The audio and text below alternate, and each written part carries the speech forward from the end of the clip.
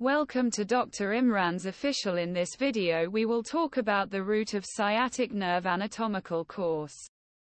The sciatic nerve is derived from the lumbosacral plexus. After its formation, it leaves the pelvis and enters the gluteal region via greater sciatic foramen.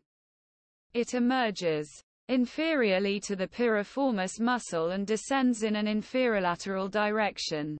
It leaves the pelvis through the greater sciatic foramen, inferior to the piriformis muscle, and descends between the greater trochanter of the femur and the ischial tuberosity.